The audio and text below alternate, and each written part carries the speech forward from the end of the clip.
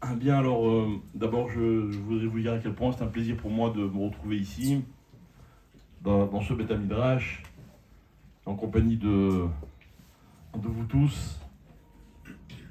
Vous savez que j'ai habité pendant, pendant 20 ans à Beit Vegan. Ça fait maintenant à peu près une dizaine d'années que j'habite plus à Beit Vegan. Et pourtant, toute notre, j'ai l'impression que le centre de notre vie est resté à Beit Vegan. C'est un endroit donc, duquel on, se, on a du mal à se détacher. Et donc quand j'ai l'occasion d'y revenir justement comme ça pour euh, des moments forts, hein, c'est toujours un énorme plaisir. Et de voir Baruch Hashem commence à continuer de se développer. Je me rappelle de Baïd Vegan il y a très très longtemps, où il n'y avait quasiment pas de français. Et mon père, il nous avait dit un jour, mais je vous parle de ça il y a, il y a vraiment longtemps. Il nous avait dit, euh, je pense que cet endroit, il peut être matim pour les Français. Et il avait décidé, lui, de, mettre un premier pied ici. Ça paraissait complètement utopique. Et Aujourd'hui, on voit Baruch Hashem à quel point, aux grandes dames d'ailleurs de certains, mais en tout cas, on est très heureux. Et de voir comment la Torah se propage. Et Baruch Hashem, nous avons ici un échantillon de rabbinim qui sont actifs et grâce auxquels non seulement il y a de la Torah, mais il y a de la Torah Baruch Hashem à un très haut niveau.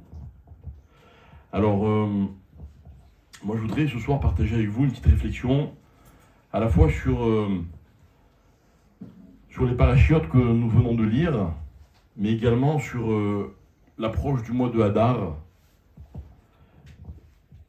Vous savez que le Chumash Shemot, d'après certains Rachamim, on peut le diviser en deux parties. C'est facile.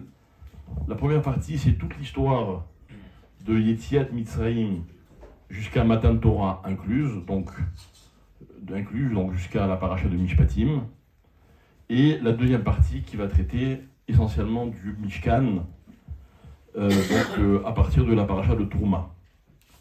Et en fait, l'histoire de, de Mitzrayim, c'est l'histoire d'un peuple qui se retrouve, une famille d'abord, qui se retrouve dans un pays dans lequel il est étranger. Donc il va connaître Galout, après il va connaître la Géoula, et puis après on va recevoir la Torah. Et en suivant un chiour que j'ai entendu de mon maître Laura Moshe Shapira et que j'ai réétudié, et donc je n'en- dis que ce que, que, ce que j'arrive à comprendre, en fait il y a une espèce de notion hein, qui, euh, qui, va, qui va être un problème d'une part, mais qui va trouver sa solution. Et cette notion de ces deux choses, de ces deux contraires, elle va, nous, permettre de, comprendre énormément de choses. Alors la notion dont il est question, c'est la notion de, kibbutz et de pizour. Kibbutz, c'est donc le rassemblement, si je traduis euh, littéralement, alors que pizour, c'est l'inverse, c'est quand on est éparpillé. Il y a donc euh, cette notion de kibbutz par rapport au klal en général, le peuple juif notamment, donc ils sont mefouzarim, et Akadosh il est, il est, il les aide, donc d'abord au niveau de, au moment de Mitziat Mitzrayim, on va expliquer que toute la Géoula c'est un kibbutz, mais évidemment la Géoula Atida, la dernière que l'on attend incessamment sous peu, hein, celle-là donc elle a carrément appelé kibbutz Galouyot, et tous les jours dans la Mida on prie en disant un Mekabetz Nitre Amo Israël. Ça c'est au niveau collectif. Au niveau individuel, on va retrouver également cette notion de kibbutz et de pizour. J'explique. Une personne, un individu, peut très bien lui aussi être méfouzard. Méfouzard, ça voudrait dire quoi? Ça voudrait dire qu'au lieu d'être capable de concentrer ses énergies vers un objectif, il va avoir tendance à s'éparpiller, à se, à se dissiper. Et en fait, il ne sera pas concentré. Une personne qui travaille sur elle, elle peut trouver cette, cette notion de kibbutz justement en se recentrant et en se concentrant sur notamment ses objectifs. Donc kibbutz, pizour, aussi bien au niveau du klal qu'au niveau du prat, au niveau collectif qu'au niveau individuel. C'est ce qu'on va essayer de comprendre. Pour essayer de juste d'illustrer de, et de bien préciser les notions, Rav Shapira a une, phrase que j'ai trouvée magnifique, dans laquelle il dit que si on va au fond des choses, l'origine de toutes les erreurs qu'un homme peut commettre, c'est le pisour. Le pisour, c'est quand quelqu'un, au lieu d'être concentré vers ce qui pour lui est important, vers son objectif, il se déconcentre et il commet des erreurs. Qu'est-ce que c'est qu'une avéra? Une avéra, si on schématise un petit peu, c'est quelqu'un qui, au lieu d'aller vers les objectifs qu'il s'est fixés, ben, il va un peu à droite, un peu à gauche, il se détourne de son chemin. Hein, quand vous conduisez, quelle est l'erreur qui peut être la plus dramatique? C'est de se déconcentrer et de regarder ailleurs que vers là où on est en train d'aller. Pizour, kibbutz.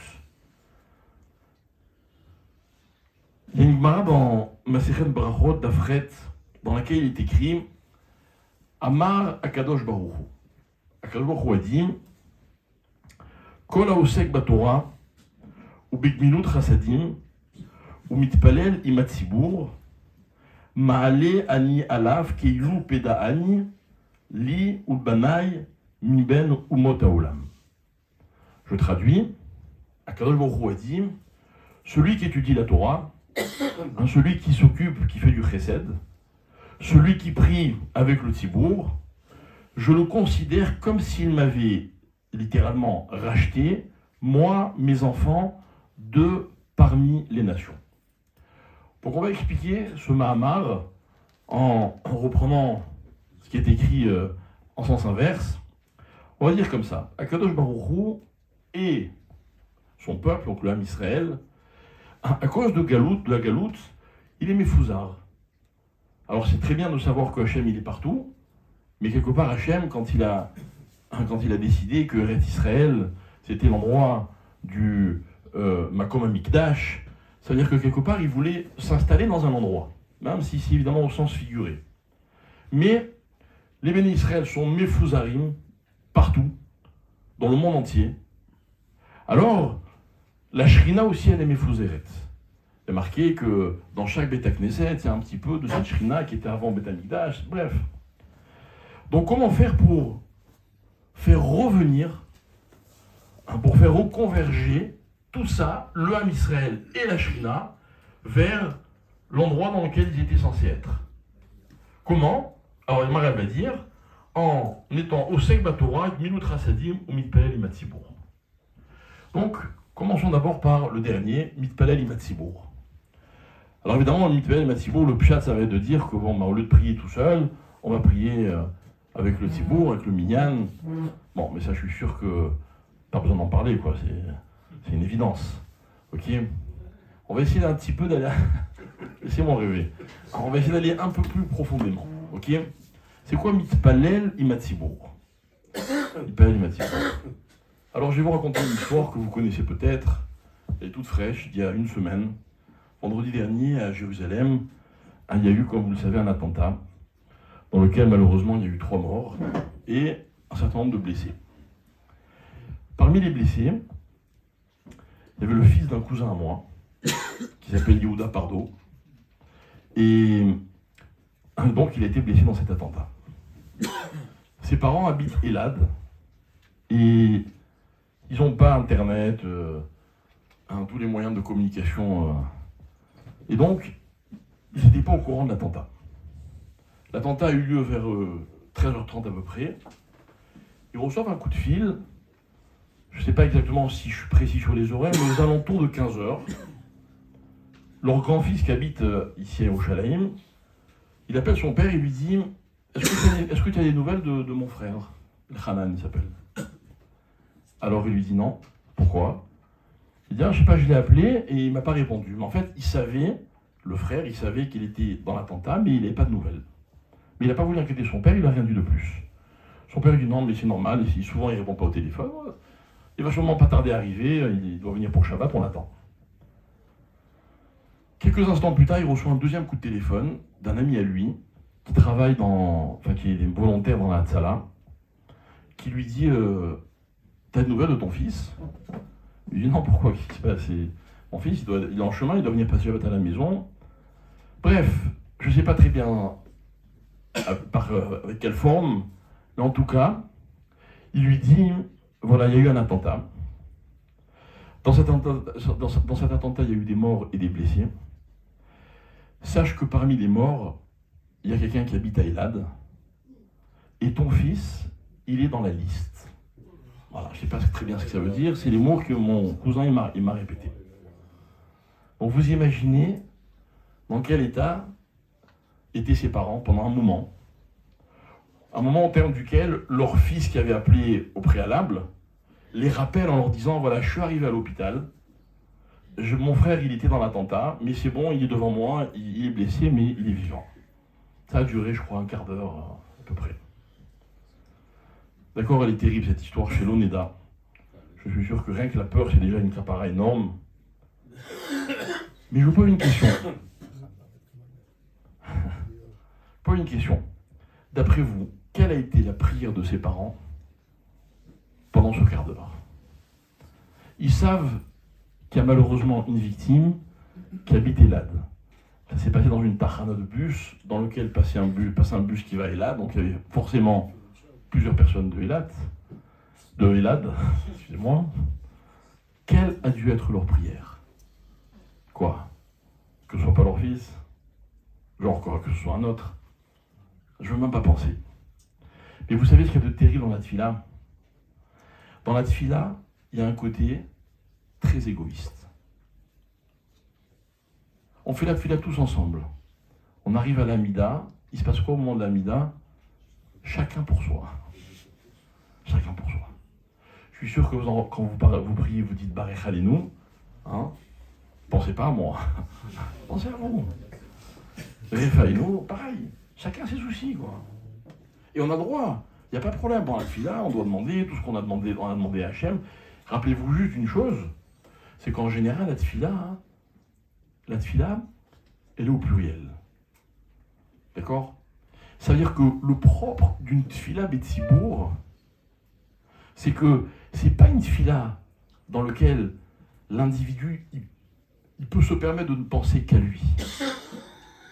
Une, vraie tfila Betsibourg, c'est une tfila dans laquelle on est, tous impliqués.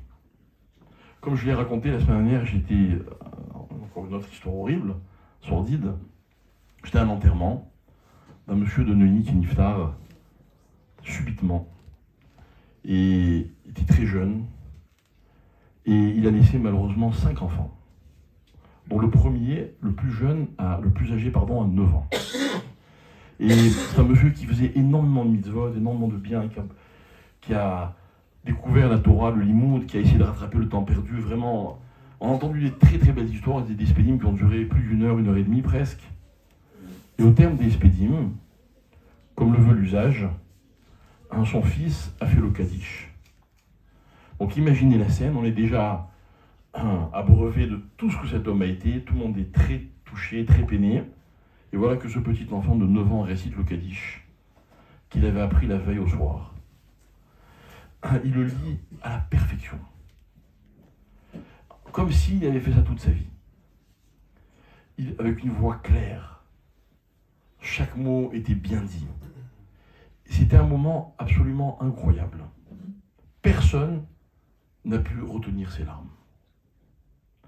Et à un moment, pendant que le Kaddish résonnait comme ça dans cette salle, j'ai levé les yeux et je me suis rendu compte que tout le monde pleurait, mais personne ne regardait personne. Vous avez vous voyez la scène? Tout le monde a baissé les yeux. Et puis on n'a pas entendu des sanglots. Non. Il y avait un silence total. Mais tout le monde était touché par ce qui est en train de se passer. Et à ce moment-là, j'ai pensé. Je me suis dit que ainsi ce Kaddish, il avait un tel impact ici-bas. Il avait sûrement le même impact dans le ciel. Et j'ai imaginé la peine d'Akadosh Baruch d'avoir dû prendre ce père à ses cinq orphelins, à sa veuve, très jeune, à ses parents, à ses amis, à sa famille. Hein, parce que Hachem, même quand il doit malheureusement être Mekayem une xéra, il ne le fait pas de, de gaieté de cœur, si je peux dire. Alors j'ai eu envie, je me suis dit, il faut que ce moment ne soit pas seulement un moment familial, ou le moment d'une communauté, c'est beaucoup plus que cela. Un enfant qui dit Kaddish, ça doit renverser le monde. J'ai dit Hachem, je t'en supplie, prends toutes ces larmes-là qui sont en train de couler de tout le monde et mets-les dans la balance de cette Géoula qu'on attend avec impatience. Réponds à la tefila du peuple juif. Vous comprenez? Ça ne pouvait pas être un moment individuel. Hein, j'ai eu vraiment le sentiment qu'il y avait à ce moment-là tefila im Que tout le monde était impliqué. Voilà ce que c'est tefila im Voilà pourquoi tefila im c'est mes, mes capettes. Parce qu'on est tous dans cette même dans ce même moment, dans cette même expérience. La Gemara disait juste avant, elle disait. C'est quoi Miloutra Sadim Je vous parie, mes chers amis, on fait un sondage. Tout le monde fait du chesed. Tout le monde. J'ai jamais rencontré quelqu'un qui ne fait pas de chesed. Mais le chesed, mes chers amis, c'est pas seulement de donner un peu d'argent, ou de donner de son temps, ou de donner de, son, de ce qu'on a. Le chesed, mes chers amis, c'est d'être concerné par les autres. Le chesed, c'est de constamment se demander est-ce qu'autour de moi, il n'y a pas quelqu'un qui a besoin de quelque chose Il y avait une jeune fille qui prise dans une synagogue, et puis elle était convertie, elle n'avait pas de famille. Et puis elle était, au Hachem, très engagée, mais très seule. Et un jour, elle m'a raconté, elle m'a dit, tu sais, j'ai décidé de ne plus dans cette synagogue. Je lui dis pourquoi? Il m'a dit parce que ça fait euh, X temps que j'y prie et personne ne m'a jamais invité. Alors j'ai demandé aux gens de cette synagogue et tout le monde m'a dit ah ben, on n'a pas pensé. On ne pense pas, mes chers amis. Ah, on a, du mal à s'imaginer tout ce qu'on est capable d'apporter aux autres. Et moi, je peux vous dire mon quotidien, même vraiment mon quotidien, et je suis sûr que je ne suis pas le seul. Euh, ce sont des gens qui viennent me soumettre des problèmes auxquels, malheureusement, je n'ai pas de solution. Mais je me rends compte que finalement, le simple fait de les écouter, hein, de leur montrer que je suis concerné, c'est déjà un réconfort. Un réconfort. Ça ne suffit pas. Mais Milout Rasadim, c'est ça. Milout Rasadim, c'est pas une chose, on l'a faite, on peut faire un petit V, et c'est bon, on, est on est au-dessus des. Non, jamais. Jamais. Il y a toujours, malheureusement, des gens qui ont besoin de nous. Et enfin, Kola Osek Batora. Qu'est-ce que c'est Osek Batora? Osek Batora, je ne vais pas vous apprendre, vous savez sans doute mieux que moi ce que c'est étudier la Torah. Mais je voudrais juste vous rappeler. Vous rappeler que Osek Batora, c'est tout simplement le plus grand privilège de la vie quand on a la chance d'étudier la Torah. Regardez chacun dans votre parcours, dans votre vie. Si un jour vous avez découvert le limo de la Torah, je suis sûr que vous avez au fond de vous un sentiment de, de regret. Pourquoi j'ai pas découvert ça avant? Vous avez tous la volonté que vos enfants ils aient cette chance d'étudier la Torah depuis le plus jeune âge. C'est un privilège. Mais un privilège, mes chers amis, il faut, ça ne se regarde pas égoïstement. Il faut le partager. Le partager, c'est quoi? C'est se dire, tiens, je ne peux pas étudier quoi pour moi. Regardez tous les rabbinines qui sont autour de moi, maintenant quand je vous parle, vous croyez qu'ils préféraient pas étudier pour eux? Rester tout seuls dans leur livre avec leur chavruta Non, ils partagent. Un jour, j'ai eu une expérience qui m'a beaucoup enrichi.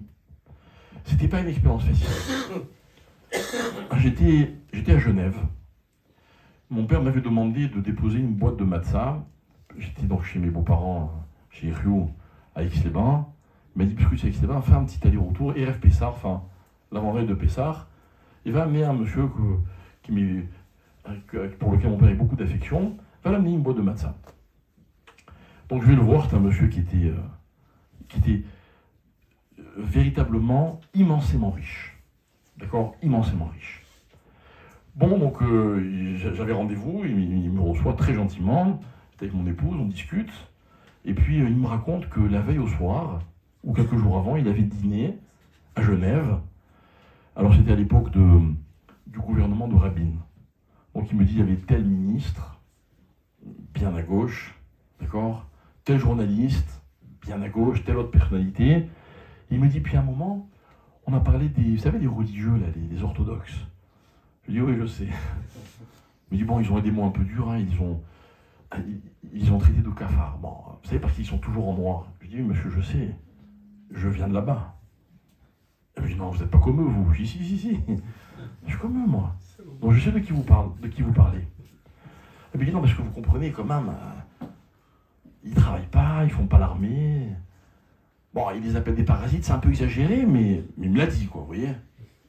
Bon, bref, on rentre dans le débat, on discute. Et la vérité, il m'a un peu énervé, quoi. Alors au bout d'un moment, il m'est sorti une phrase. Il m'est sorti une phrase.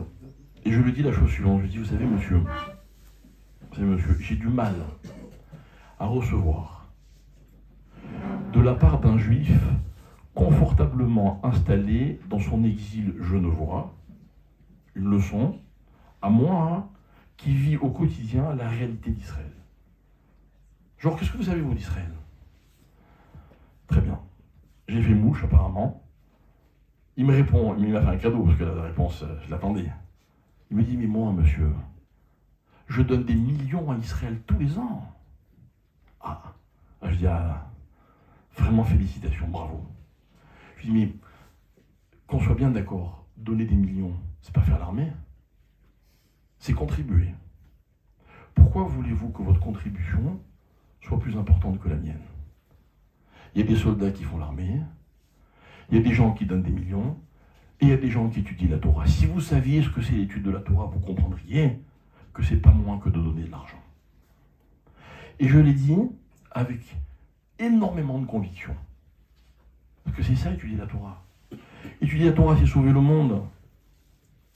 Étudier la Torah, c'est réaliser que. Vous savez, un jour, j'étais euh, dans un restaurant avec un ami, et il me dit, moi, je fais même pas pour. Moi, je, la religion, je dis pourquoi C'est en Israël. Hein. Je dis pourquoi Et évidemment, en bout de trois minutes, on commence soi-disant un débat intellectuel, philosophique. Au bout de trois minutes, on parle des religieux. Et les religieux, et l'armée, et ceci. Je lui dis, mais de quoi tu me parles? Je lui dis pareil, je dis, mais les religieux étudient la Torah. Sans la Torah, tu serais pas là. Sinon, on vit que de miracles en Israël. N'est-ce pas qu'on vit que de miracles? Tout vous le dit. Ils sont obligés d'être d'accord.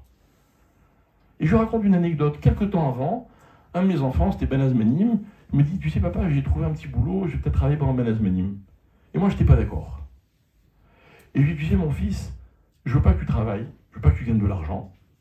Tu es en Israël, tu as le droit d'étudier la Torah, tu es exempté de l'armée, parce que tu étudies la Torah. Ton temps ne t'appartient pas. Donc, gagner de l'argent, pas maintenant. Tu auras le temps toute ta vie de travailler, de gagner de l'argent. Maintenant, tu es censé te consacrer à l'étude de la Torah. Tabanazmanim, les rabbinim ont pensé que un il a besoin de, de, etc. Et je raconte cette anecdote. Il était impressionné. Bref, on, on mange, moi plus où on était, c'était à Herzliya, je crois, pas Pitoire. Et euh, on finit de discuter, il me dit, ah tu sais, je voudrais dire quelque chose. Je pense que je vais faire qui pour cette année. Je lui dis pourquoi? Il me dit parce que ça m'a touché ce que tu as dit euh, à propos de l'armée. Bon, très bien, ça Torah, c'est l'armée. J'ai aucun problème. ce qui m'intéresse, c'est que le monde comprenne que l'étude, le limoud Torah, c'est une contribution dont tout le monde a besoin. Tout le monde a besoin de cette contribution. Pas moi qui le dis, c'est la Brachot, Kola Osek Batora, ou Big Minut Rasadim,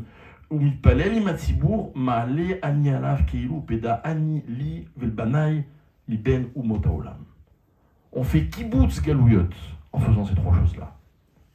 Kibbutz galouyot.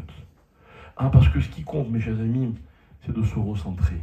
Vous savez, on parle de hardout partout, n'importe comment.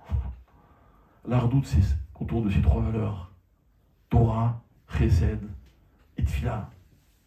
C'est-à-dire quand chacun fait ce qu'il a à faire, il ne le fait pas que pour lui. On a tous nos vies, c'est sûr, mais on ne peut pas se permettre de les avoir que pour nous. Donc en fait, ça c'est un schéma.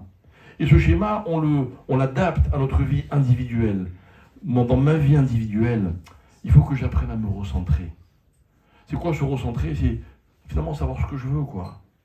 Quand je sais ce que je veux, ben, je vais investir un maximum d'énergie dans cet objectif que je me suis fixé. Et je voudrais vous dire quelque chose, une deuxième idée, c'est que finalement dans la vie, pour être heureux, la véritable joie dans la vie, c'est quand on arrive à se recentrer, quand on arrive à se concentrer. On va regarder autour de vous, il y a des gens qui sont constamment par mons et par vaux. Quand je dis par mons et par vaux, c'est pas qu'ils sont très occupés. Les gens occupés ne sont pas moins heureux que les autres. Mais par mons et par vaux, ce sont des gens qui sont tous constamment en train de courir après autre chose. Constamment. Ils ne sont jamais les mêmes quand vous les rencontrez. Ça évolue constamment. Et cela, il faut leur apprendre, il faut leur dire non, tu sais, il faut de la constance. Il faut savoir te fixer des objectifs et tout faire pour les atteindre. Et c'est comme ça qu'on arrive à la Simra.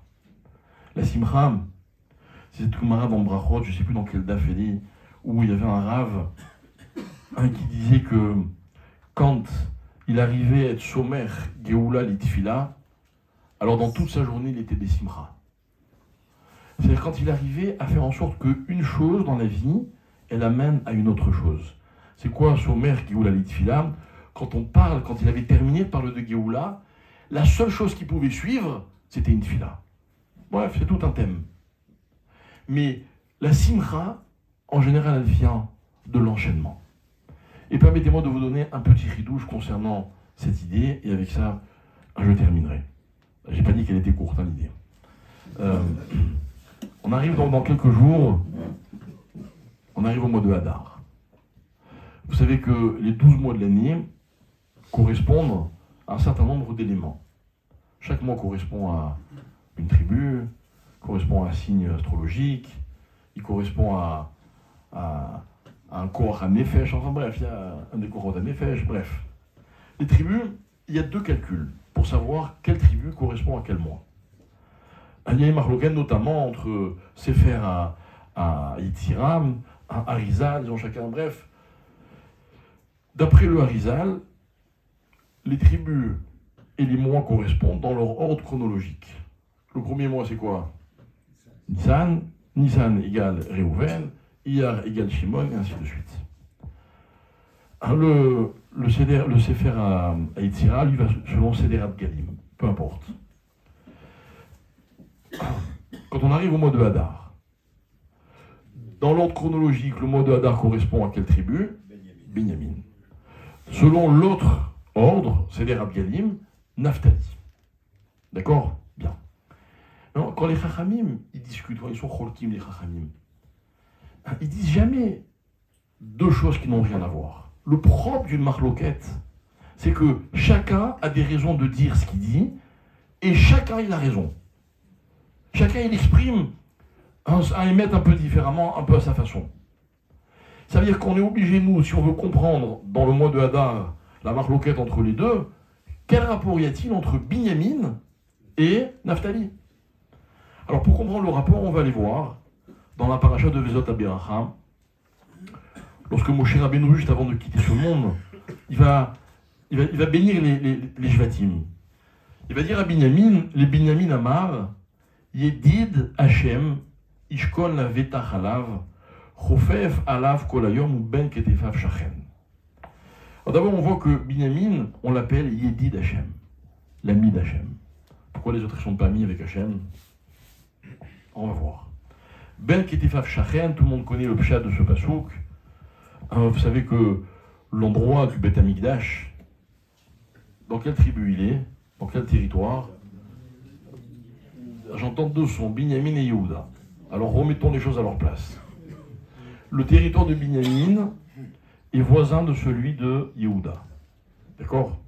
Normalement, le Makom Amigdash, il est censé, enfin, si les formes étaient, on va dire, euh, euh, euh, normales, hein, il serait dans le territoire de Binyamin. Mais dans le territoire de Binyamin, il y a une enclave. C'est-à-dire que le territoire de Yehuda, il rentre un tout petit peu comme une langue de terre dans Binyamin, et c'est là a le Beth Amigdash. Enfin, une partie du Beth Amigdash. Le malheureux Binyamin, imaginez, il est autour de cet endroit, mais cet endroit ne lui appartient pas. D'accord? C'est ralent, hein? Le pauvre. Ah, c'est ça, Binyamin. Binyamin, écoutez bien, normalement, il aurait dû être frustré. Mais mon cher Rabbeinu, il dit non, il n'est pas frustré. Il est Yedid Hachem. C'est-à-dire quoi Yedid Hachem? Vous savez la différence entre les amis et la famille? C'est quoi la vraie différence entre les amis et la famille? Je, fais attention parce qu'il y a pas mal de membres de ma famille ici, mais comme il y a pas mal d'amis aussi. Voilà, mais euh, d'accord, ça c'est à, l'origine, une fois qu'on les a choisis après. Ok? Je vais vous expliquer. La famille, ben, on les voit, quand on se voit, on s'embrasse, salut, ça va, les mariages, les bar mitzvahs, machin, etc. Bon, ok? Ni on choisit, ni on décide, c'est comme ça. Un ami, on décide de le voir. Un ami, en fait, on est avec lui parce qu'on a envie d'être avec lui. Yedid Hachem, ça veut dire quoi? C'est-à-dire que Binyamin, toute sa vie, il a envie d'être avec Akadosh Il est Yedid Hachem. Euh, nous, vous, en général, qu'est-ce qu'on dit? On dit Avinu, Malkenu. Avinu, c'est un père, on l'a pas choisi. Malkenu, c'est un roi, on l'a pas choisi. Yedid Hachem, c'est autre chose. Ah, c'est-à-dire qu'en fait, Binyamin, c'est vrai qu'il n'a pas la Shrina dans son territoire, comme il aurait voulu, mais donc à cause de ça, il a toujours envie de l'avoir. Ok? J'ai pas terminé. Voyons ce que Moshe Rabbeinu dit à Naftali. Ou Naftali Amar, Seva Ratson ou Malé Birkat Hashem. Voyons traduire ensemble. Seva Ratson, ça veut dire quoi? Alors Seva, ça veut dire rassasier. Ratson, c'est vouloir. En général, quelqu'un qui veut quand il est rassasié, quand il a obtenu. Mais c'est pas ça qui est marqué. Il a marqué qu'il est Seva Ratson, ça veut dire quoi? Ça veut dire qu'il est rassasié de vouloir. Parce que nous, mes chers amis, on commet souvent une erreur dans la vie. Nous, on croit que pour être heureux, il faut avoir. Et mes chers amis, pour être heureux, il faut vouloir. L'ambiguïté, c'est quoi? C'est que quand on veut et qu'on obtient, eh bien, qu'est-ce qui s'arrête? De vouloir. On n'a plus, besoin de vouloir puisqu'on l'a. Ah, donc en fait, si on devait choisir entre vouloir et avoir, qu'est-ce qu'on devrait choisir? Là où tout le monde se tromperait et, choisirait d'avoir, la Torah nous apprend que dans la vie, il vaut mieux vouloir. Que ce qui porte une personne, Hein, que j'ai envie de dire, ce qui anime une personne, c'est pas ce qu'elle a, c'est ce qu'elle veut. La force de Naphtali, c'est qu'il était Seva Ratson. Vous savez, Nathalie, celui qui courait vite. Comment on dit courir en hébreu? Ratz. C'est les mêmes lettres que Il n'arrêtait pas de vouloir. Mais pareil, alors qu'il aurait dû être frustré dans n'importe quelle autre civilisation ou approche de la vie, lui non. Il était heureux de vouloir. Heureux. Vous savez à quoi je compare ça, moi? À l'amour. Vous savez ce que c'est l'amour? Sans doute que oui. Mais j'ai juste euh, le dire avec mes mots. Quand on aime quelqu'un, le jour où on a compris, on a découvert ce que c'était l'amour, on n'a plus rien à découvrir. L'histoire est terminée. Pour rentrer chez soi. Hein, le propre d'un amour, c'est d'être toujours dans la recherche. Shapira, un jour, j'ai entendu dire cette phrase L'amour, il le dit en hébreu évidemment, c'est un verbe qu'il ne faut jamais conjuguer au présent. Parce que le jour où on y arrive, on y est arrivé, ça y est, qu'on l'a. Or, aimer, en fait, c'est vouloir aimer. Eh bien, c'est la même chose. C'est Varatson, il était sa VA de vouloir. Il était rassasié de vouloir, comme Binyamin. Binyamin, c'était juste à côté de chez lui. Eh bien, justement, lui, tous les jours, il regardait ça avec envie avec convoitise. Moi, je me rappelle quand j'étais beaucoup, beaucoup plus jeune, on avait des discussions avec nos parents. Et ils nous disaient souvent, mais vous savez, nous, à votre âge, on avait un engouement pour la Torah. Et vous, on vous a tout donné. Et vous êtes... Euh, et on, dit, on avait beau leur expliquer, bon, c'était un débat difficile, hein. On disait, mais nous, on n'a pas eu cette chance de vouloir. C'est vrai. Alors on a, c'est magnifique d'avoir. Mais en réalité, dans la Torah, on devient mûr le jour où on la veut. Et comme on l'a jamais, donc on a des raisons de toujours la vouloir. N'est-ce pas? Ah, c'est ça qui donne la simcha dans la vie. Dans la vie, on est sa mère, pas quand on obtient ce que l'on veut. Imaginez le saméar, il est heureux parce qu'il y a une belle circonstance qu'il attendait avec impatience. Et moi, je viens, je tape sur l'épaule et je lui dis, tu sais, dans deux heures, c'est fini. Hein. Chacun rentre chez soi, là, ta fête, elle est finie. Il s'est préparé pendant des mois, Msken. Il attendait souvent avec impatience. Mais pendant qu'il est en train de le vivre, il est déjà en train de se terminer. Mais celui, non, inquiet sa mère parce qu'il est à la recherche de quelque chose. Il est dans une construction, dans un projet. Alors lui, il sera toujours dans la simra, quelles que soient les circonstances de la vie. Eh bien, mes chers amis, il n'y a que comme ça qu'on est en mesure de concentrer et de faire converger nos énergies vers un même point. Quand on a un but, quand on a un projet, quand on est dans la recherche de quelque chose, quand on est animé par une volonté. Cette bracha, elle est magnifique. Si on pouvait avoir la chance de valoriser la volonté, et non pas de valoriser ce que l'on a déjà. Ici ou là, on, souvent on juge les hommes, excusez-moi du, terme, mais je l'emploie volontairement, on juge les, les hommes par rapport à ce qu'ils possèdent. C'est tout le contraire. On devrait mesurer les hommes hein, par rapport à leur capacité de vouloir, de vouloir tout découvrir. Voilà comment on est quelqu'un de Mekoubat. On est quelqu'un de concentré. Quelqu'un qui sait vers quoi toutes ces énergies elles doivent aller. Alors si on en est conscient, ça devient quelque chose de possible. Alors peut-être que finalement, toute cette histoire de Galout et de Géoula, qui nous donne à nous un espoir, parce qu'on a compris dans cette histoire de l'Égypte qu'après chaque Galout, il y avait une Géoula. Pour nous, la Géoula, ce sera quoi? Ce sera le kibbutz.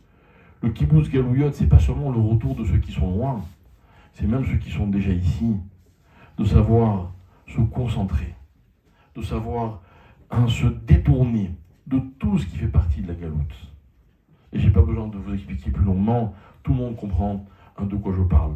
En tout cas, comme je sais que dans cet endroit, le, hein, le comment dire, la, priorité de cet endroit, c'est le limoud à Torah, et que le limoud à Torah, c'est, je crois, la plus belle expérience de concentration, justement. Il y a des tas de choses qu'on peut faire en jetant un petit regard à droite, un petit regard à gauche. Mais tout le monde, tout celui qui a eu la chance d'étudier un tout petit peu de Torah, a pu constater que quand on est capable de se concentrer, quel que soit le temps que ça dure, chacun selon ses capacités, mais de se dire, voilà, j'étudie, pendant que j'étudie, je ne fais que étudier la Torah. Ah, ça, c'est une expérience qui donne la joie. Je crois que ces deux notions, hein, elles se rejoignent. En tout cas, c'est ce que j'avais envie de partager avec vous à l'approche du mois de Hadar dans quelques jours. Et que Bezrat Hashem, dans cet endroit, vous ayez hein, la chance de toujours vous élever, toujours plus haut, de vous apprendre que Rav Yeshaya, tous les rabbinim qui, hein, qui vous encadrent, puissent vous donner cette envie vraiment de fixer vos priorités, vos véritables objectifs, avec tout celui qui est impliqué dans ce qu'on vient de, dans ce qu'on vient de l'expliquer, eh bien, il trouve Bezat Hashem à cette simcha. En tout cas, merci beaucoup de m'avoir invité, de m'avoir donné ce privilège, de m'avoir écouté. Shavuot од што ќе ви.